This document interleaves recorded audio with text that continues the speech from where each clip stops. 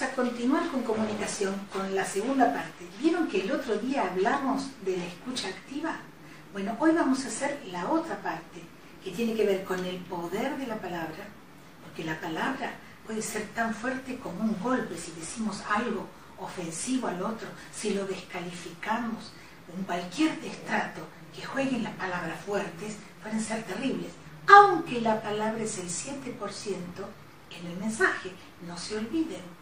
¿Por qué? Porque lo demás es el tono de la voz, la calidad que yo pongo en ese vínculo, que es energético, y lo gestual. ¿sí? Pero igual, vamos a hablar de las estrategias de expresión. Es tan sencillo y tan de sentido común, pero es lo que no hacemos tan fácil, que es de sentido común. Porque todos sabemos, cuando alguien nos dice algo que no nos gusta, y decimos, vieron, el problema no fue lo que me dijo, sino cómo me lo dijo.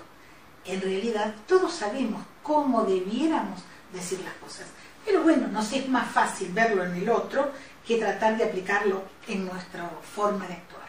Yo les digo algo muy sencillo. Para evitarnos conflictos y para no confrontar, lo mejor es expresar lo que nos pasa desde nuestro sentido. Si nosotros nos colocamos en el sujeto y decimos, la verdad que esto que me dijiste no me hizo bien o me molestó por tal cosa, el otro queda en el predicado, no está imputado. Es muy distinto decirle, vos no me comprendés, o no me escuchaste, o no me entendés. En un conflicto, si yo en cambio me hago cargo, me hago responsable, que es la realidad, porque yo interpreto esto a mi manera, según mi historia, según mi mapa, que no es el territorio, entonces yo tengo que empezar por decir, realmente no me hizo bien o me sentía así o asado según lo que vos dijiste. Entonces, cambiando eso, en todos los conflictos se produce una apertura que es una senda diferente para poder transitar después juntos.